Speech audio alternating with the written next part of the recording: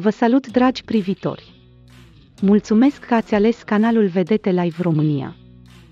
De această dată, manelistul a postat pe rețelele de socializare mai multe fotografii cu fanii săi care și-au tatuat chipul lui pe corp.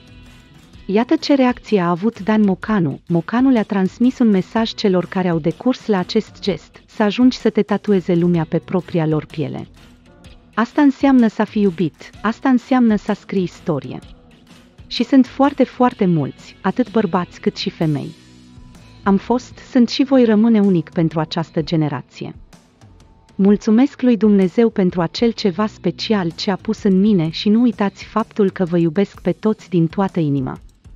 E cel mai frumos sentiment să știi că ești iubit de atâta lume, a scris Dan Mocanu. În prezent Dan Mocanu este arestat la domiciliu în dosarul de tentativă de omor. Asta după ce împreună cu fratele lui, Nando, au bătut cu bestialitate un bărbat într-o benzinărie. Mă descurc bine, nu pot să zic că foarte bine, pentru că nu e ca și cum ar fi fost să fiu liber.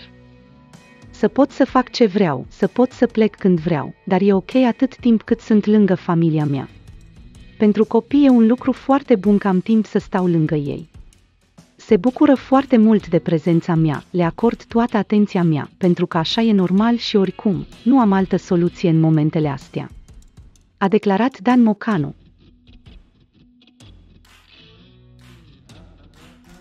Vă mulțumesc că ați privit până la final și vă rog să vă abonați la canal pentru a vedea mai multe știri de acest gen.